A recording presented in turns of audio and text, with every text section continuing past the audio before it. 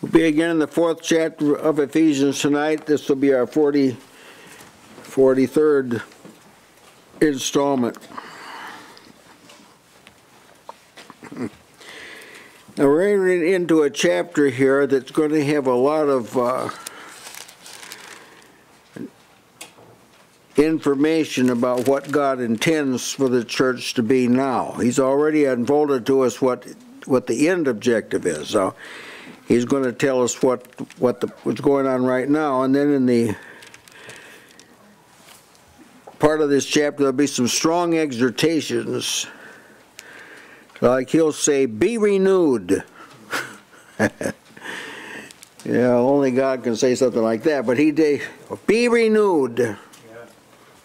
He'll say, and he'll tell you to put away certain. See, that it'll not be like try and do this or make an effort or.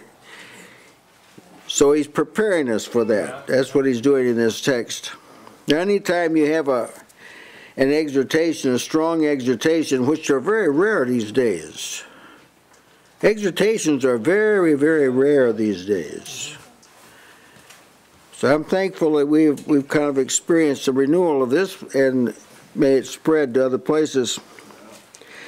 Before he exhorts you, he calls your attention to the Lord that called you and to the benefits he's given you. He kind of sets the context for it before he exhorts you. In the epistles to the Ephesians, Paul has first identified God. See, you may think, well, everybody knows who God is. No, everybody doesn't know who God is or that he is. So he identified who he was, who he is. He said, for instance, uh, he bestows grace and peace. Started right out telling you. Comes from him. He's the Father of the Lord Jesus Christ. See, a lot of people don't think of this. They really don't think of God as the Father of the Lord Jesus Christ. Not only is Jesus the Son of God, that's accented, but He's the Father of the Lord Jesus Christ. And He is uh, He's the one that blessed us with all spiritual blessings in heavenly places. Is God that chose us. Is God that predestinated us. Is God that made us accepted. See, this is all in, in this first chapter. It's God that has abounded toward us in all wisdom and prudence.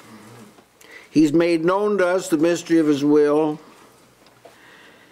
He has determined He's going to gather everything together into one. He's the one who works all things after the counsel of His own will. He's the one who raised Jesus from the dead and gave him to be head over all things. God did this. And it's God who quickened us. He raised us up to sit together with Christ in heavenly places. God did this. Is we are his workmanship created in Christ Jesus. And it's the manifold wisdom of God that's being made known to principalities and powers. That's just some things God has done. Not is do it, has done. In Christ Jesus, He's the one whom God chose,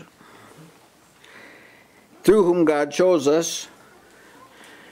He's the one through whom we've been adopted. He's the one in whom we're made accepted. See? We have redemption in his, through his blood. all things are gathered together in him. And it's in Jesus we obtain the inheritance. See how he's building quite a, quite a intellectual structure here. He's, we've been, uh, the church is uh, Christ's body, a repository into which he pours his fullness. We've been made nigh to God by Christ's blood. He's our peace. He abolished the enmity that separated us from God. And through him, both Jews and Gentiles have access to God. He's the foundation upon which we're built. He's the chief cornerstone. It's in Jesus that we're fitly framed together. God created all things by Christ.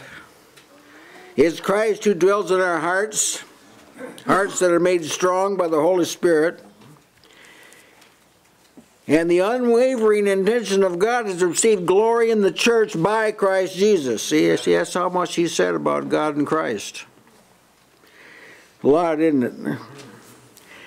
Now, it's in the context of those statements that we're reading in chapter chapter four. If people like context, that's that's pretty good context there. Oh, but there's a lot of people. They don't know this, so they're trying to do what should be done without this a grasp of this knowledge. And most of the time it's just because they haven't heard it. Some people be glad to hear this. They just, just heard it. And they may view the scriptures as well as above my head, you know. I, I can't understand it. I haven't been trained and there's some people think this way. We know we know this is wrong, but the people have in a sense been taught to think like this. All right, we're in the fifth verse tonight. One Lord, one faith, one baptism. boy, that's a lot. We'll only be able to kind of skim over it, but there's important things to see here. The, the, there is, he starts it with verse 4, there is. So these are realities. These are not ought to be's. This is what is. There is one body, one spirit, one hope. There is one Lord. That's, that's really all there is, just one. We have only one Lord. Some versions say, let there be but one Lord. I don't like that. You have one master. I don't like that either. Give it it's true. I mean, that's just true. That's not what he's saying. Yeah. He's not saying you have one. That's not what he's saying. Mm-hmm. As though you initiated. That's right. yeah. He said, actually, the original language just says one Lord. Yeah. It just doesn't say there is or. That's just one, and it's a statement of fact. Amen. This is the way it is. One Lord. Foundational statements concerning deity are never grounded in human experience. See, when you make a statement about deity, you don't you don't couch it in this is what he is to us or the, or we. The, some of that is true, but that's not that's not foundational. Yeah. God is whether he's whether you're involved in it or not, right. knowledgeably involved in it or not. This is what it is. God is. It's wrong to represent foundational statements as though it was a God and me situation. You've got to have a foundation before you talk about God and me. There has to God has to do something before we can have even God and me. Yeah, amen. And what he's telling you, well, God has in fact done something. So this is the this is the good news, of course. Now, uh, here's something we ought to address here. Paul made a statement to, to the Corinthians. It sounds like it contradicts this. He says, Though there be many that are called gods, whether in heaven and in earth, is there be gods many and lords many? But to us there is but one God the Father, of whom are all things, and we in him, and one Lord Jesus Christ, by whom are all things, and we by him. So you say, well, what's the difference between that statement and this? Well, in that statement, Paul is talking about brethren to brethren. Some of these converted idolaters didn't know there was one God. The eighth chapter of First Corinthians is devoted to it. They thought these were really legitimate gods, but they just weren't to be worshipped, but they were really the legitimate gods. And so consequently, if they, when they went to the meat market, some of the meat was offered to these idols was sold in the meat market, the shambles. They call it the shambles in the King James. So they wouldn't buy this meat, but they might see some brother who knew that nothing wrong, I can buy the meat. Paul said you can buy the meat. But if someone sees you that doesn't know what you know, and they see you smoking, oh, I'm sorry, don't want to make it too personal. Or do we?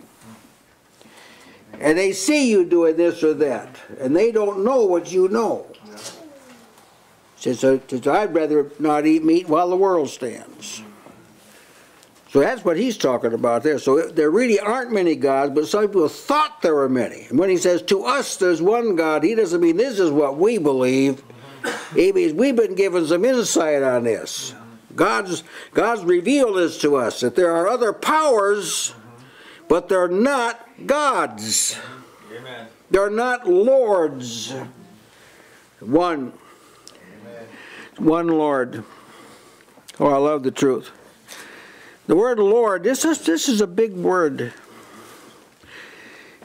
I'll give you the lexical meaning, and this just this just beats around the bush, but it's it, even that says a lot. Lord, one having power, or authority, he to who, who he to whom a person or a thing belongs, about which he has the power of deciding. He's master or lord. He's possessor and disposer, the owner, one who has control of a person. That's what there's only one. It's only one of those, Amen. Amen. and he is. He's the Lord is the owner. Yeah. You're not your own. Mm-hmm. You're bought with a price. See? Right. And you don't decide what you need to do. He decides what you need to do. See, you know, this is a this is a bridge that a lot of people haven't crossed. Understand? You're not the one that plots your course, he plots it. One Lord. Now this is speaking, we're going to point out, it, this is not speaking of God the Father. He's going to mention God the Father in the next verse. This is speaking of Jesus Christ, who's been made Lord. He, God has made him Lord. We're speaking about the person of Christ. Eight times in the book of Ephesians, this expression, Lord Jesus Christ, is mentioned. We also have Christ Jesus our Lord, that's mentioned. How, do, how does Christ fit into this economy? The Lord, see, he, he's been Lord. He's running everything. Mm-hmm. God's turned it over to him. God hasn't abdicated, Yeah. Amen. understand? Mm-hmm. He's not subject to Christ, but he's the only one that isn't. Mm-hmm. Yeah.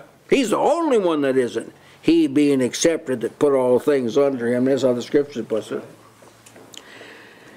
Well, when you get to talking about Christ,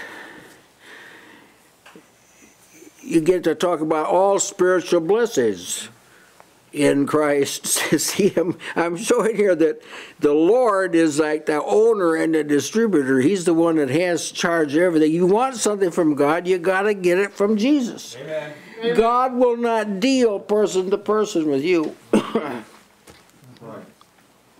you got to go through Christ. Mm-hmm. No man comes to the Father but by me, either initially or any other time. Amen. That's because God turned the things over to him. Jesus said when he's on earth, the Father put everything in my hand. All power in heaven and earth has been given to me now. He's Lord. Talking about Jesus, well, they, it's in Jesus that the t- body of Christ is being framed for a temple of God. Uh-huh. In Christ, it says this is being framed. And you get to talking about God's eternal purpose. He purposed in Christ. And the Father is the Father of Christ. He's our Father too, but first He's the Father. The reason He's your Father is by creation He's your Father. By redemption He's Christ's Father first, and your Father because of that. You have the same Father as Jesus does, so God's not a, Jesus isn't ashamed to call you brethren. And God's not ashamed of you either because you're, you're related to Him in Christ. I'm showing the centrality of Christ. You walk as children of light, that's connected with being in Christ. Third chapter, verse 4. Even singing. We let the word of Christ dwell in your midst, and you sing to the Lord. And there are a number of other uh, other things. God is referred to in the Bible as Lord in the in the epistles 115 times. Jesus is called Lord 411 times. Just just to confirm to you that everything's to Christ. So there isn't a Jewish God and a Muslim God and a Christian God. That's right. There's one God and there's one Lord. Amen. There's one personality who's over everything. And it's the Lord Jesus Christ. Now this applies to after he ascended back into heaven and seated at the right hand of God. And at that point, Peter announced in Acts 2.36, God hath made him both Lord. See, the earth is the only place personalities don't bow to Jesus now. Uh-huh. All the demons do. Pooh. They even did when he was incognito in the body. No demon ever give Jesus any trouble at all, ever. Uh-huh. Gave men a lot of trouble. Satan, they, Satan never even argued with Jesus. Not one time. Amen. He's Lord. He knew he was Lord. All the angels know he's Lord. Cherubim, seraphim know he's Lord. Just on earth, men are the only ones that don't know he's Lord. But he is. There is. One Lord. The earth knows he's the Lord. That's right. Nature, nature knows it. That's right. That's right. Yeah, nature always obeyed him when he told him to do anything. He instantly obeyed. He said, "Peace, be still." That Yeah. quieted around right now. You remember that uh, Peter, ten years after Pentecost, he goes to Cornelius's household. There's a, there's a lot of people there, and he told him of Jesus Christ. He is He is Lord of all. See, the one Lord. Although Satan is, he's called the God of this world. And the whole world lies under his sway. 1 John 5, 19, the whole lieth in the wicked one, is the way the text says, means it's under his power. But his is a delegated power. He's really not a Lord. The Lord delegated. Satan, his Satan's power came from God. Joel, that, that doesn't make sense. It, it does because God set this whole thing up. Amen. God had fully intended that salvation was going to be worked out in an adversarial environment. Right. He fully intended there's going to be a fundamental adversary that his people are going to overcome through his power. So he gave Satan to do he could do almost anything except touch the people that Jesus Christ in whom Jesus Christ dwells. That he can't do.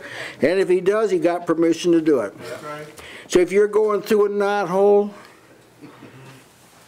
powers of darkness had permission to drag you through that knothole. That's right. Amen. That's, that's how you have to look at it. That's the way it is.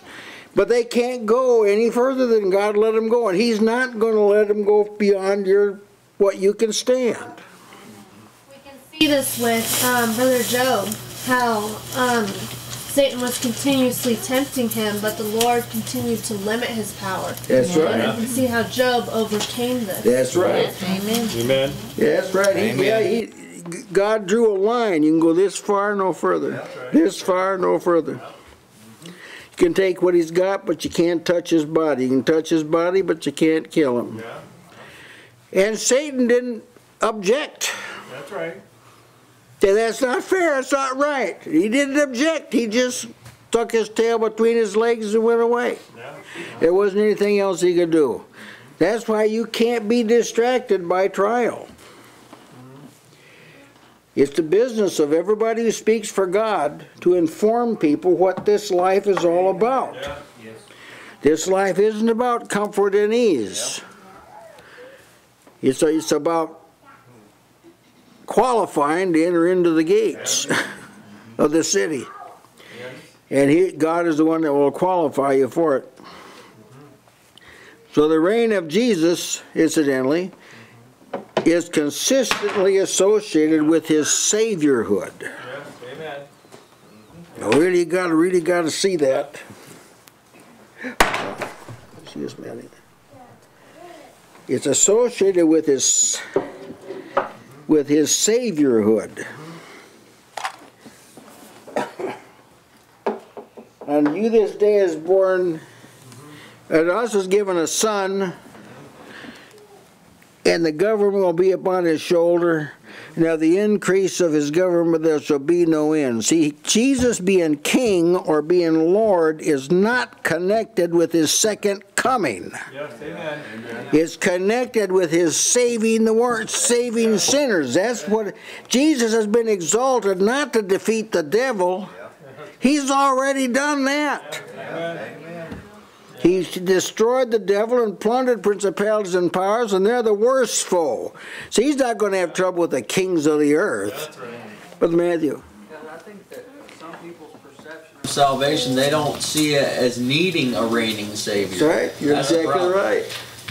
Amen. Just repeat these words after me. It's real easy. Yeah, for one aspect, Jesus defeated the devil when he was at his lowest That's right. possible That's place. exactly right. Mm, weakness. Yeah. In weakness, he was mm-hmm. crucified through weakness, and the cross is where it was done. that's right. Wasn't Satan wasn't defeated from heavenly places? He is defeated from the cross. Amen. That's where he was defeated. So Jesus has no trouble with Satan. He's just he bring, he be- bringing the people through his territory. And because they are really the ones being saved, he like doesn't just levitate them and they float over the enemy. You know, I think some people think it's got to float over the enemy and the glory. No, he takes you right through the battle lines. I don't know how mad Satan was beforehand, but his anger and, and wrath was accelerated Oh yeah. after he was after Jesus had ascended and all everything he thought was going so well Yeah, that's kind right. of worked against him. Now we really need it. We need we need Christ reigning. That's right. Yes. See, when he saw, he, when he saw, he was, woe to you inhabitants of the earth, for the devil's come down to you having great wrath. Amen. He can't, it's going to work. His wrath doesn't mean anything up here. That's right. Yeah. It only means on the earth. He didn't bank on it. What Jesus does, he lifts you up. He lifts you up above the earth into heavenly places, and see, Satan can't enter there. Yeah, that's right. He can't get in there. Uh-huh. If you so if you if you just say, well, I'll go out and mosey around on Earth for a while, that's Yeah, that's right. that's where he is. That you're in his domain, and he'll knock you down every time. Yeah. You will never win a skirmish with Satan if you're living in the flesh. Amen. Amen. That's right. Won't happen. Yeah, there's a Complicating factor in that he's delivering people who were once darkness. That's right. So there's some elements about their character that have to be Yeah, shed. that's right. And they can only be shed in this environment. Amen. Amen. Now you see, when a person, no person who has come into Christ can say, well, that was the end of any of my weakness or sin. I never sinned after that. But I will tell you, to get out of that sin, it took a Lord. Amen. Amen. The Lord had to lift you up out of that. The Lord had to forgive you. You couldn't climb. You couldn't climb out of the pit. Amen.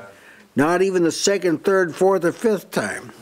He salvation needs a Lord to direct it Amen. and to ensure that it's brought to its intended culmination. So Jesus is absolutely sovereign. He's not like a figurehead. Or sometimes there'll be a, a retiring executive and he'll be the president emeritus. Yeah, he really doesn't run the show, but he, he's treated like he's the president, but he really doesn't have any. That's not how, what Jesus is. Amen. Jesus is Lord of all. He's the one and only potentate. Amen. That's First Timothy six fifteen. Not he shall be, he is. God's going to show who he who he is now is going to be revealed when Jesus comes again. Then he's going to show who is the one and only potentate. He's the King of kings and the Lord of lords. That's what he is. And he's the ultimate owner. Yes. You were bought with a price. You're not your own. I mean, we're reminded. Mm-hmm. We're reminded of that. So there's only one Lord. He's over everything. Powers of darkness as well as holy angels. He's over them all. You don't need anything that you can't get from Jesus. Amen. Nothing. In fact, your your it's summarized as your need. He is able to meet all of our need, singular need. Amen. Now, some people think they need things they really don't need, as you know. One Lord, and all men will give account to him. There is one Lord. So when I tell you what I'm going to exhort you to do, Paul is saying, think back what I said here, one Lord. And there's one faith. Someone will say, say, well, what faith are you of? Well, I'm of the Catholic faith. Oh, well, I'm a personally of the Baptist faith, or whatever. There's one faith, that's all there is. Amen. Not, not there should be one faith, that's all there is. Any other kind of faith is not faith, it's a delusion, it's not faith. Now, the word faith, it's good to think about what it is. It's one of those words that's hard to, hard to define, so that here's the lexical definition of faith, but you, you can kind of sense it's like a blind hog rooting for an acre, and they're trying to figure out what it is, but it's so profound I can't. Conviction of the truth of anything. In the New Testament, a conviction of belief respecting man's relationship to God and divine things, generally with the included idea of trust and holy fervor, born of faith and joined with it. See, it's just.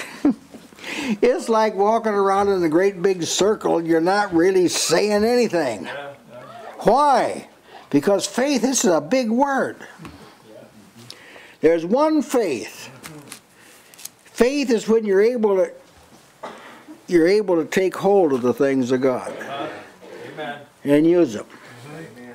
Faith is when you not just have access to God, you actually are familiar with God and you know how to bring Him to bear in your life. You know how to do this. Faith, there's one faith, a substance of things hoped for. You, I like to say faith substantizes spiritual reality. Until faith comes, you only have theories Yeah. And suppositions. That's that's all you got. I'm sorry, but I'm afraid a lot of contemporary Christianity is theory and supposition. It's not it's not substance Yeah. or conviction. Not that at all. You can tell that experientially when you challenge someone about their faith. Yeah. Mm-hmm. Someone who, who has a textbook faith, Textbook faith. who faith. has a lexical faith. Yeah. They'll back down. Mm-hmm. Yeah. Well, maybe you're right about that, or, or that's, you know, that's one view Yeah. of it and so forth and so on. They, almost whatever you talk to them about, that's, that's how they view, they won't stand up to you. Mm-hmm. And then you've probably heard people say, well, everybody has faith in something. Yeah. There's one faith. Yeah. And it's not knowing you're going to get a paycheck or knowing that a chair is going to hold you up. That's not faith. That's right. Faith has to do with what you cannot verify mm-hmm. by your any of your senses. Yeah. You can't verify that it's there by any human sense or ability. Mm-hmm. Amen. The only proof you've got is that God said it. That is the sum total of your proof. You don't have any more. But when you have faith, you don't need any more. You're more convinced of it than if you could see it and handle it. Why did why did Paul go through what he went through? All those trials he went through. He lists them in First, Second Corinthians eleven. Why was he? How was he able to do this? Because he knew. He had faith. He knew. He knew God. Yeah. That's the same with you. Yeah, you can go through trials crying, saying, "Please, please, please pray for me." You can go through them like that. But that, like, is not the ideal. That's not the ideal. We understand that everybody probably has to cross that bridge, but you got to get off that road. You got to get beyond that. Yeah. You got to get say, say, I know the things that've fallen out to me are going to be for my salvation. Uh-huh. You've got to be able to say that. Faith enables a person to say that. So Job loses it. It's a one fell swoop that shows you how fast Satan can work. He just took everything in a day. Everything, everything he had, he took it in a day. He said, The Lord gave and the Lord hath taken away. Blessed be the name of the Lord. How could he say that? He had faith. Amen. There's only one faith that can do that. Yes. Scriptures in Scripture, faith is associated with certitude. Why is it some people in and out, up and down, on and off? They fall easy, go backward easy. Why is that? They don't have faith. We stand by faith. That's what the Scripture says. You can say, "Well, they made a mistake." No, that wasn't. This is not true. Yeah. Uh-huh. They didn't have faith. They didn't believe. They weren't sure of God. They weren't certain of the judgment day. They weren't positive about grace. That's why they stumbled. Nobody who walks in the light, Jesus says, stumbles. Amen. Amen. Synonyms for the English word of faith, just for the English word. This is back when the, the English was more theological. Synonyms for it are confidence, dependence, hope, reliance, persuasion. See, they're all strong statements, and where these are missing, faith is not found. There's one faith. The stronger faith is, the more certain the person is, more confident they are, more assured they are. It's harder to turn a person who's persuaded. That's right. Amen. Remember, it says Abram was fully persuaded. Right. What God had promised, he was able also to perform. He did, wasn't that he saw God or shook hands with God. All he had was what God said. But see, if faith comes by hearing, not hearing what I say, hearing what God says, mm-hmm. faith comes that way. So Abram, Abraham stands out as a, like a spiritual spectacle to us that whenever God said anything to him, he never balked. Amen. He never acted contrary to what God said. If you view it, you say, well, he, look at there, he, he tried to, he went along with Sarah about having a child through Hagar, but see, God hadn't told him. As soon as God told him Sarah, that's the end, no more, no more Hagar. Yeah, that's right. At first, he, he said he's going to have an heir, but he didn't tell him, Abram, you're going to beget the heir. So he thought, oh, Eliezer, he's, he's my steward of my house. He's be the ones. But as soon as God told him, that was no more talk about Eliezer. See? First time, you just have to go through Scripture to see. But the first time he's told, he acted on it. That's faith, what faith does. This is Abraham is the embodiment of faith. He's faith lived out, chronicled in a person's life. There it is, right there. And you must know that Abraham, even though he had a lot less than is given in Christ, he's light years ahead of most professing churchmen. And this is this is not commendable. It's not commendable for someone who had less than you to advance further than you advanced. Even in the world, I've seen this happen even in the world. Mm-hmm. I've seen people that weren't as talented and didn't have as much ability rocket further than someone who was had a lot of ability because they were lazy or slothful or whatever, and they actually the person went further than the person who had who had more. But in Christ Jesus, the person who has more, he will not get to heaven if he does less with it. Amen.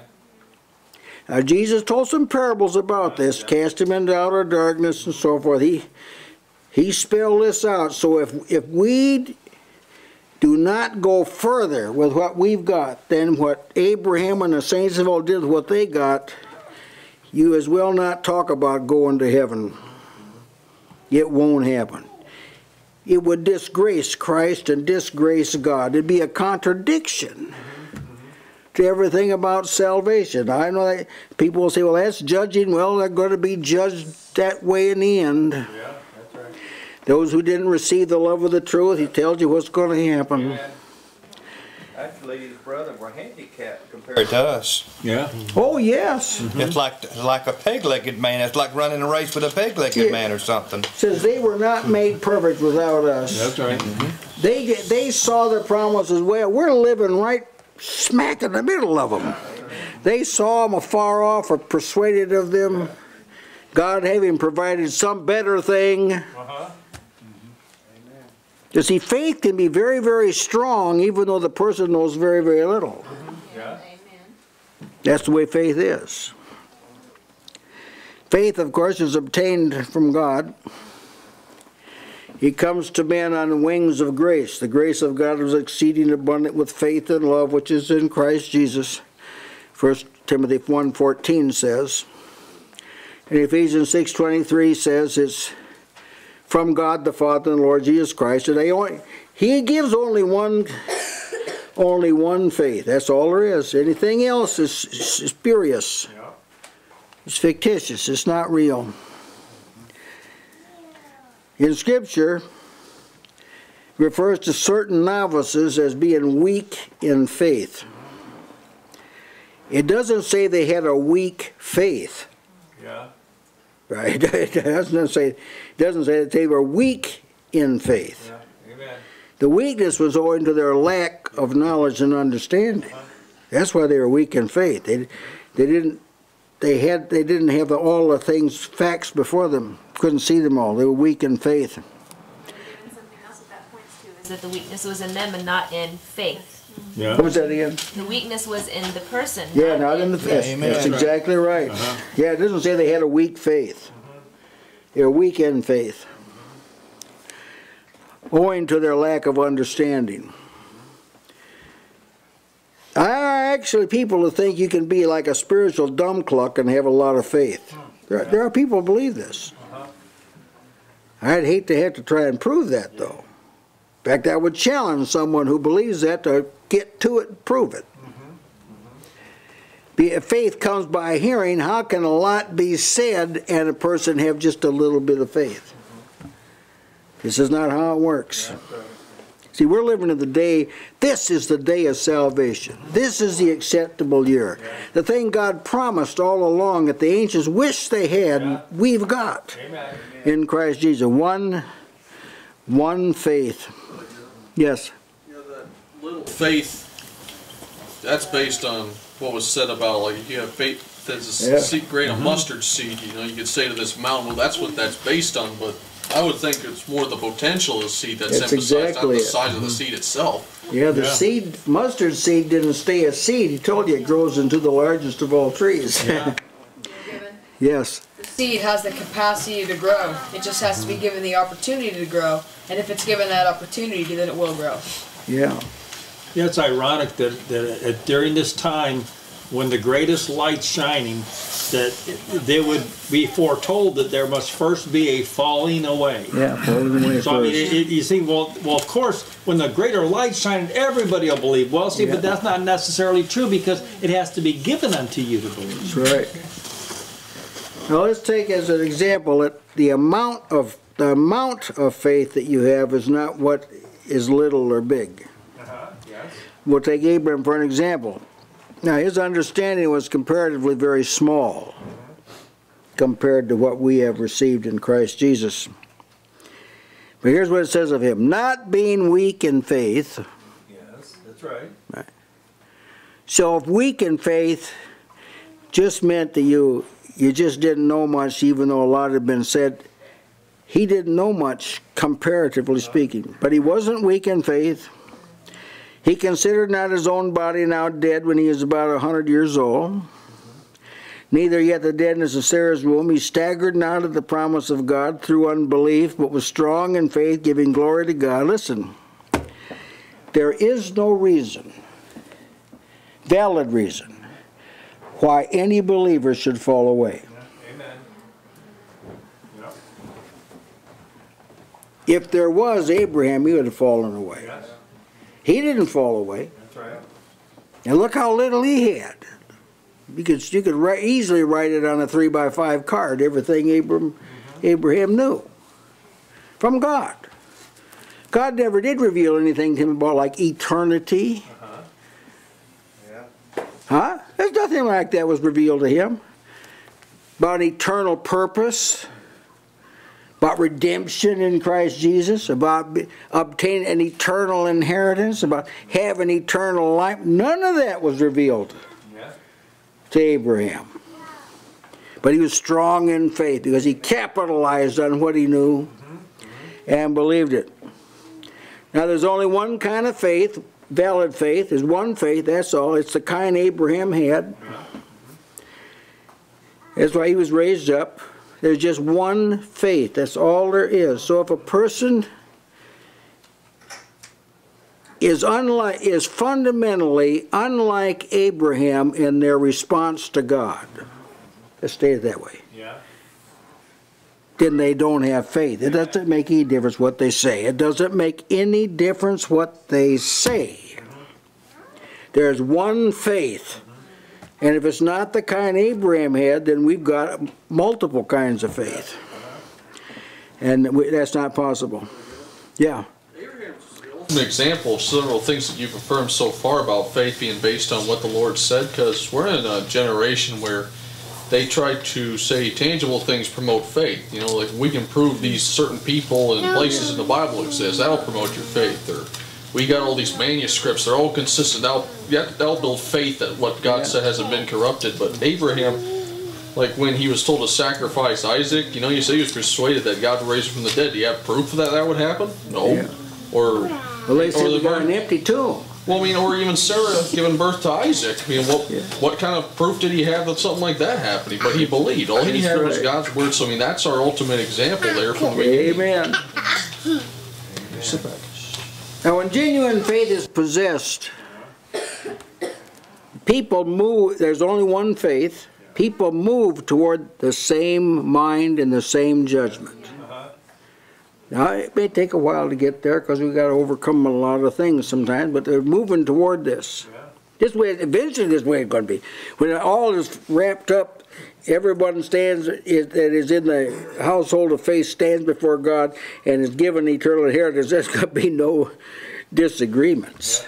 There's not going to be any first church, second church. There's not going to be any of that kind of thing at all. So whenever people aren't moving toward, why aren't they? Somebody's not got faith. Yes, that's right. Now, it's not our job to try and determine who this is. It's our job to determine it- whether we are in the faith. That's that's that's the important thing. And you'll find yourself moving into accord with historical figures that had the faith that maybe you didn't used to think they did, but all of a sudden your faith goes and you oh, you finally catch up to where they were several hundred years ago. Lo and behold, you're of one mind. Yeah. Yeah, the reason it says there's one faith is because what, and God, God has defined it, but there's no discrepancy in its constitution or object. That's right. Amen. Good. Amen. Amen. Brother Given? Yes. Going through this and tell me if I'm correct in this. The reason why I'm, I'm in, I I don't feel comfortable with uh, them translating it one trust and one belief, is I don't think that the, be, believing and faith are synonymous terms. They're, they're associated with each other, but believing is the effect of having faith. Yeah. Faith is like a spiritual capacity that enables you to believe. Yeah, it's, it's stronger than capacity. Yeah, it's stronger than capacity. But believing is is faith expressed. It's the expression of faith. Yeah, faith is its capacity is a is a kind of a weak word. It's stronger than capacity. Yeah, because you have by creation you have a capacity. You're made in the image of God, but see, it's the capacity is not it. There's a there's an actual reality called faith that comes. Then when you believe, that's the expression of the, that's the verb. Faith is the noun. It's the expression of faith. Yeah, so Yeah, trust, it's an aspect, but it's not, it's not a total, it's not as big a word as faith. Faith is a larger word. But see, in the English language, they, you understand these are eternal concepts. There, there's no language that contains this, these kind of ideas. There's no language that has a, it has a scriptural idea of faith encapsulated in a word. There isn't any. God had to, God had to create this idea. Yeah, right. Yes. That's an important point to make, the one faith. This accounts for the things that we can recognize in one another, the commonness, uh, that the, the fruit of, That's of right. faith is the same That's uh, right. in all of us, and it's, it's it. Uh, you don't. One faith will not produce uh, a different purpose or No. different objectives. right. It all has one faith has one objective, one, That's and we all experience the fruit of the work of that one faith. All looking at the same Lord. That's right. Faith. One Lord, one faith, uh-huh. one baptism. Oh, now then we get into a controversial area here, but I think we can work this out here tonight. Some versions say one immersion. Well, immersion is not a proper translation of the word baptize. You can immerse something and leave it under the water. There are still some boats that are still immersed in water that sunk a hundred years ago. So it's not a proper word. That's why they transliterated baptized, because in baptism it's coming up that's the main thing, not going down. Going down gets you in a position where you can be raised up. now it appears in Scripture that there is more than one baptism. There's names some of them, like there's the baptism of John. There's the baptism of suffering. Luke 12, 50, Jesus said, I have a baptism to be baptized with, and how am I straight until it be accomplished? There's a baptism of death. If the dead rise not, why am I why am I baptized for the dead? That's what he's talking about. I'm baptized in hope of the resurrection, is what he was saying. Some people, proxy baptism, I mean, Mormons practice this, but no Christians, and they used to baptize one another for somebody else. Yeah, we admit they do, but that's not what Paul's talking about. He was baptized, he submitted to be engulfed by death so he could be raised up by Christ. Then there's uh, Jesus baptizing with the Holy Spirit. John baptized you with water. He that comes after me will baptize you in the Holy Spirit. And we're baptized into Christ, Galatians 3.27, and we're baptized by one Spirit into one body, 1 Corinthians 12.13. All right, it sounds like a different baptisms. But this baptism he's talking about, one baptism, is confirmed by the apostles to be the entrance point uh-huh, into the kingdom of God, which is what he's talking about, being part of what God is doing. How do you how do you get involved? Baptism is the entry point. Paul referred to it as being baptized into Christ. Now nobody can do this. Yes. No man can baptize you into Christ. right. Even though that this would be I'd be called a heretic in some circles That's right. Mm-hmm. for saying that. But you can't put anybody into Christ. Amen. You can't do anything but put them in the water and bring them out, and that's all you can do. Uh-huh. But much more is involved in getting in Christ than that. That's involved, but it's baptized into Christ. Paul, he, he, he puts a microscope to this, makes it a little larger. He says, We were baptized into his death. Oh, how's that? I, that's so much for 2,000 years ago. I've heard a lot of 2,000 years ago preaching. Maybe you have too. 2,000 years ago. We're baptized into his death that occurred, historically occurred 2,000 years ago, but that death is still something into which we're baptized. Into his death, he also said we, we were planted together in the likeness of his death, and then we were raised up in the likeness of his resurrection. We are also baptized into one body, as I said. There's also a sense in which baptism saves us, the like figure unto baptism does now also save us, Peter said. Not the putting away of the filth of the flesh, some of the versions say, not washing dirt from the body. I tell you, I don't know how some of these people got into the translation business. What he's saying is it's not a ceremonial cleansing. Like the washings under the law, they were very real washings, but they were nothing really happened. They were ceremonial washings. That's pretty close to what was practiced in the group I was in. That's pretty close to it. It was a, it was largely a ceremonial, Yes. Ceremonial thing. I knew it was because hardly anybody was made new. Yes. Uh-huh. You just had to be honest. Yeah. Uh-huh. We didn't have this experience. We had a whole flood of baptisms, you know, and sometimes there would be a whole flood of them. When Eva and Benjamin were baptized, we had a whole, whole flood of young people were baptized. In most churches, when that happens, there's not a bunch of people who are of one heart and one soul. None of them said that any of the goods that they possessed was their own. We never saw anything like that happen. But that did happen when people were really baptized into Christ.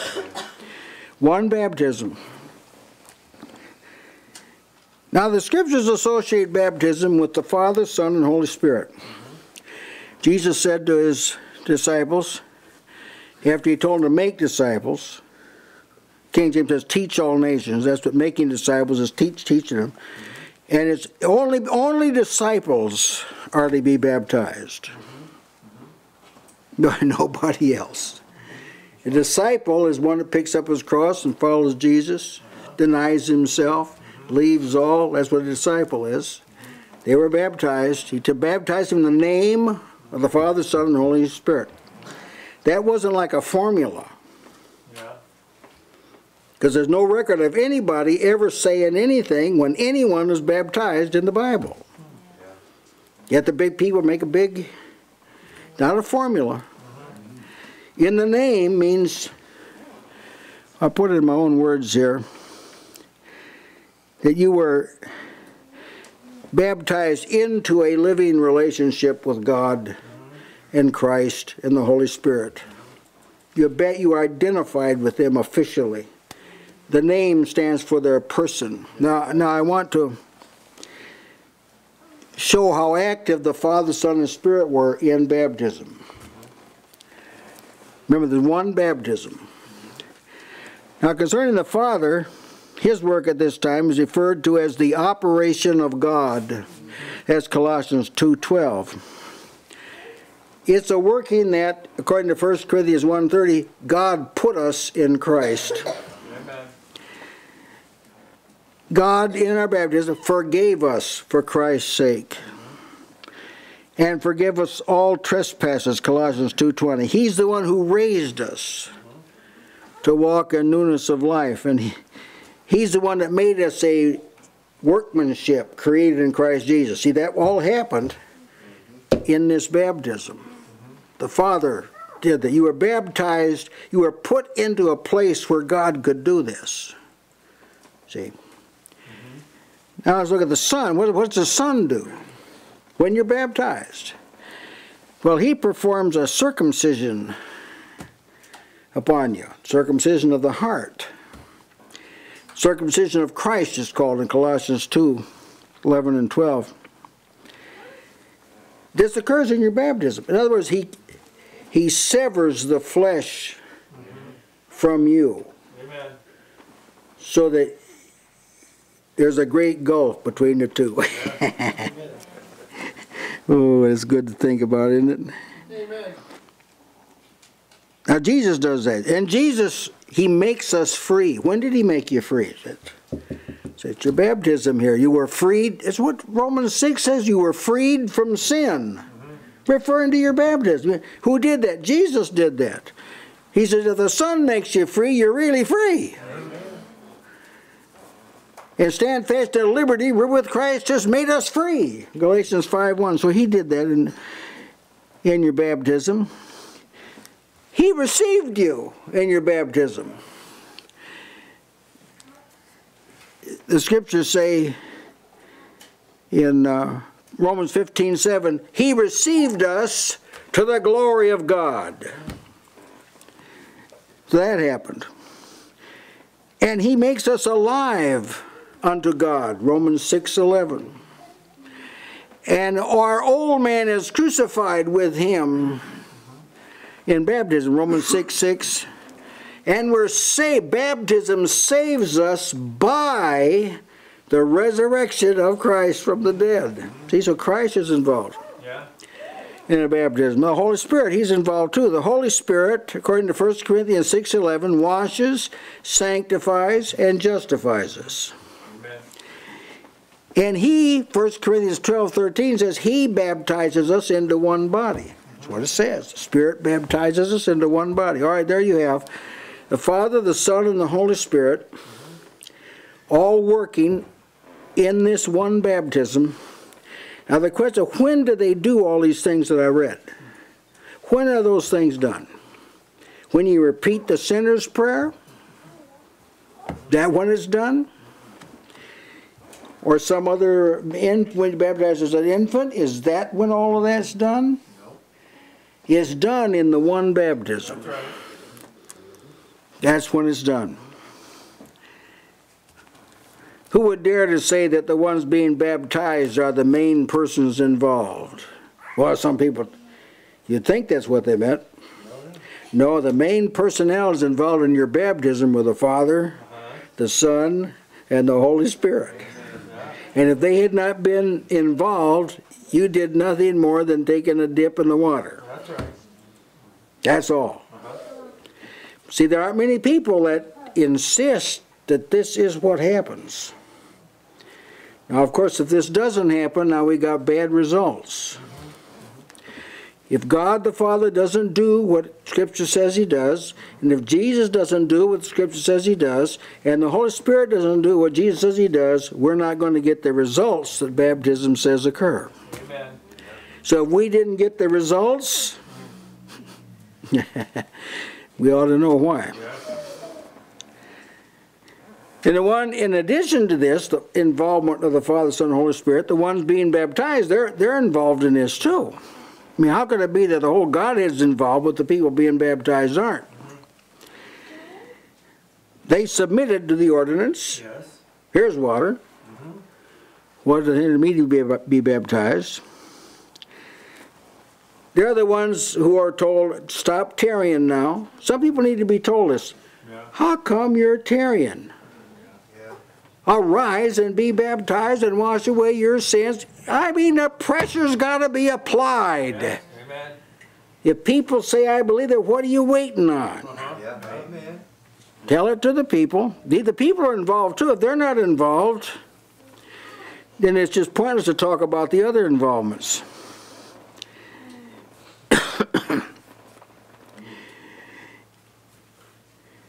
now, as I said, this takes place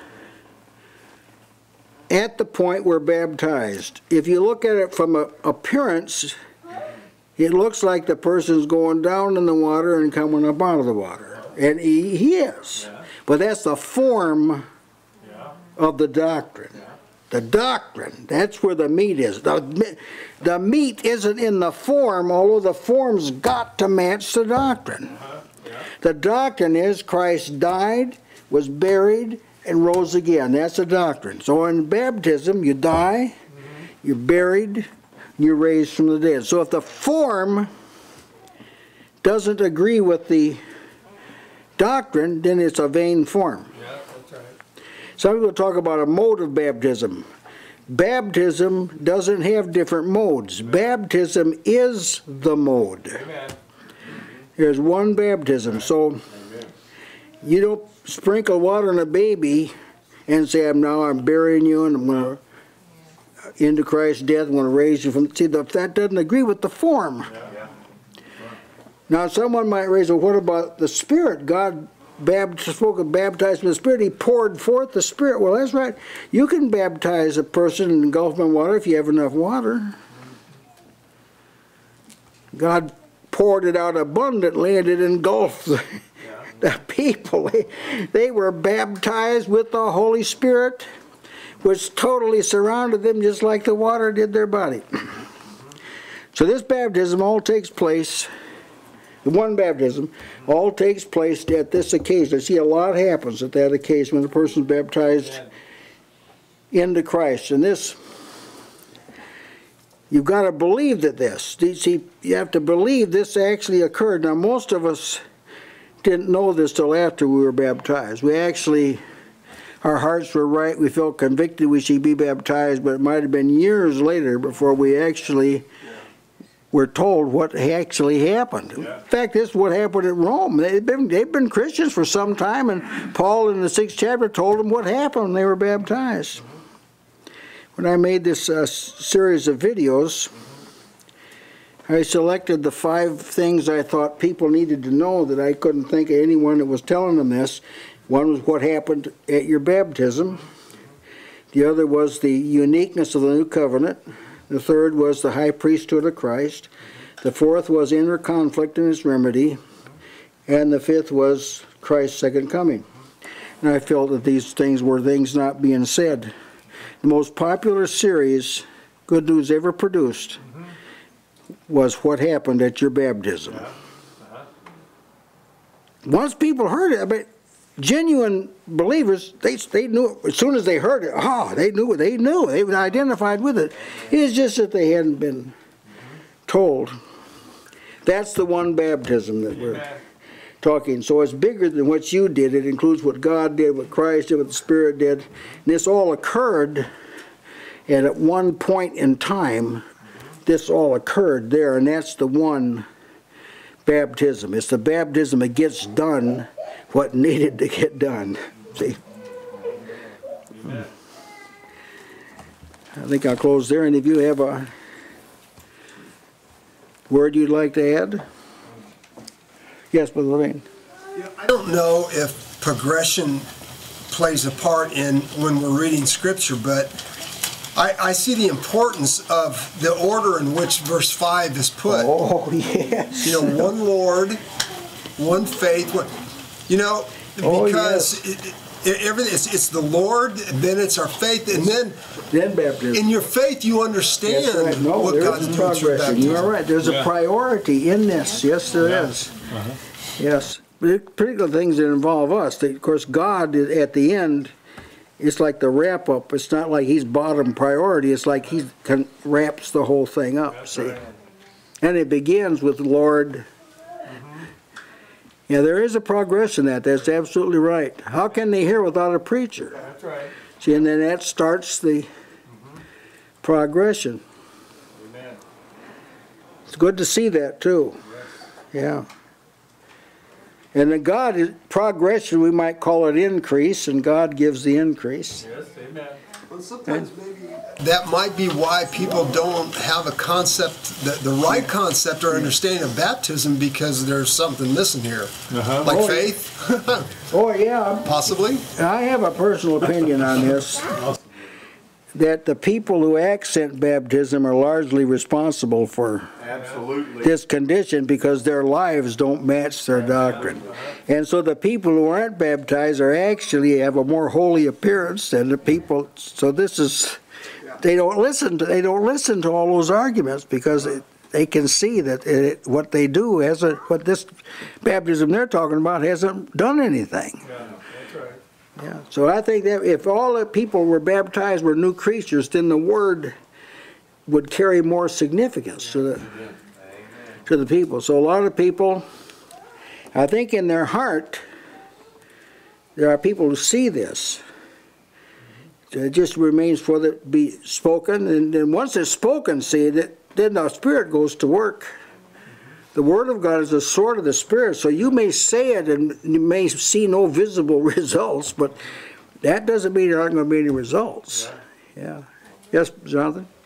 I will say it's Always nice to be able to hear someone talk about baptism without saying the words, well, this doesn't mean, Yeah, I know. because usually when I hear anyone else speak about, that's what they're saying after every verse they read, but it's a real shame that to be in a generation that discourages Yeah. doing baptisms, after going over all the things that occur in it.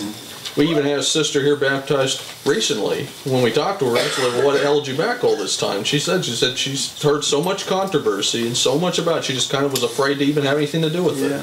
When she saw it, she had no problem going in with it. Yeah.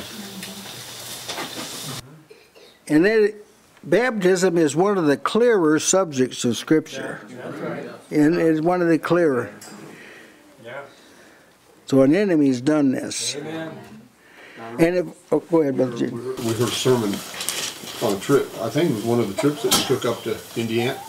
No, it wasn't. We were in Memphis, and we stopped on Sunday morning, a huge congregation. Mm-hmm. And the preacher that morning preached from Romans six. And the only time he mentioned anything about baptism was when he read the text at the beginning. From then on, for forty minutes, Yeah, he never mentioned baptism. yeah. And see, the apostles assume that believers are baptized. You were baptized. You, you were baptized in Christ. As many of you as have been baptized into Christ. So if we- people say, well, is that water baptism or is that spirit baptism? And you just say, well, yes. See, that's an erroneous question because more, more happens than what's happening in the water.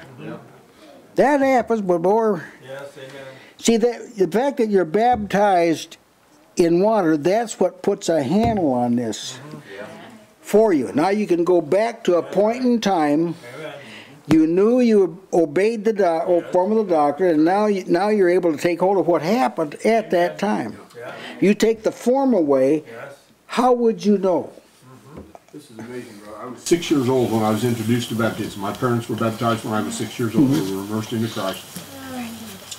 And I was thirty-six before I ever heard anyone say what you've said. Mm-hmm. And you were the one who said it twenty years ago. Yeah, Yeah, it's a, it's a tragedy, really. It's it is. it's a form of spiritual robbery Yeah, that's is. right. because it When you said it, I immediately saw all Yeah. these things Oh, that I had read. Yeah. It was in your heart, And see? taught in the scripture myself, all these, all, that all just fell together. Yeah, Yeah. Well, that's as reasonable as can be, with one or two statements. See that, remember he said he'd write his law in their hearts. Yeah. Now this is what that means. When the law is written on your heart, I mean, you don't, you don't know what the scripture says, but when you hear it, uh-huh. there's an accord between your, it's on your heart. You ha- you have an inclination to this and you can like see it. Yeah. That's the genius of the kingdom. Uh-huh. That's the, the pretty soon the day dawns, and what you see, the light has always been there. Yeah. I mean, Amen. the light didn't begin when we saw it. Yes. Yeah. You said an enemy's done this. You got a question, wh- why would anyone want to stand in the way of a person having a good conscience Yeah. towards God? It just, it doesn't even make spirit, No. spiritual sense at all. Well, it goes, it goes to fact of sectarianism. Yeah. You- There's certain sects that have to be maintained with this teaching. Is this Sister Tasha? Yeah, this is one of the first things that you actually physically do that's in agreement with the Father, That's the right. Son, and the Holy That's Spirit. right. Amen. Uh-huh. Mm-hmm. And so there, there'll be times whenever the enemy will try to try to convince you that you aren't in agreement with the Father, the Son, and the Holy Yeah. Spirit. And this is a time, like you said, that it's it's a tangible something you can get a hold of to That's be able right. to combat against Give a against the date enemy. to it. You can give a date. Yeah. Yeah, Now, you see, this is something the ceremonies of the law didn't have this. They did not have this. They, they were figures. Now we can look back at some of the ceremonies and we see all kind of likenesses back there, but they didn't. Because the reality hadn't happened yet. See, the, the sin hadn't been taken away yet. Once sin's taken away and you know it's taken away, now you're you you're able to see what you, you just have to be said and you can see it. And I'll tell you an account of uh, his name was Harold Losey, blessed brother. He came to Christ. He was 55. He's a German Lutheran, hard hard man. His mother was old German Lutheran, and for years Harold hated his mother. And he divulged it to me one day, and we were, he worked for me, and he was where he worked, and he divulged it because he felt guilty about doing it. And I said, Why did you hate your mother, Harold? He said, She used to beat me with a broomstick until the broomstick broke. And she said, I really hadn't done anything wrong. She just. And he said, So I said, Well, you, you got to get over this. All right, some time passed. He come to me. He said, Brother Given, I see now. God made my mother do that because I chasten easy. And I noticed that in Brother Harold. Everybody knowing God never had to convict him twice say anything. First time he always got it. All right, he determined he wanted to see his mother baptized. Four or five years he tried to talk her into it. He was getting very, very frustrated at it. She was getting old. She was about 85.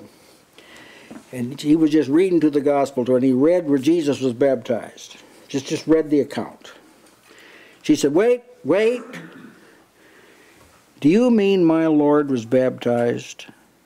He said, Yes. She said, Then I want to be baptized. He came to me, he said, I wasted all those three to five years trying to talk her into it, and all she needed to know was her Lord was baptized, and that was good enough for her. well, I see, there's a lot of this is that simple. Yeah. You really, if you did, if you did know, Je- this has to be what converted the eunuch. I don't think Philip was preaching baptism to the eunuch. Right. He preached Christ, and when he told it Christ was baptized, he was, well, why can't I be baptized then? Yeah. Amen. Yeah. Brother Given, that's exactly what happened to me. I was reading through the Bible and first became a believer, and when I read that Jesus was baptized, I went down to the nearest church that I knew that they were doing baptisms and got in line. Yeah. They had a group of people that they'd been going through a, like a special course, and I just walked up there and got in line. Yeah, we had. Uh, I forget the name. I forget the name of the film strip. Do you remember those film strips? Jule Miller? Jule Miller. It was a five week before, five week course before you could be baptized. Lord help if you were a quick learner. Yeah. All right, we'll have a word of prayer. Our dear Heavenly Father, we give thee thanks for the way you've opened up salvation to us. And it is glorious to see and refreshing to the Spirit to not have questions, but to be able to give praise with thanksgiving for the marvelous way you've saved us. Accept our thanks in Jesus' name. Amen.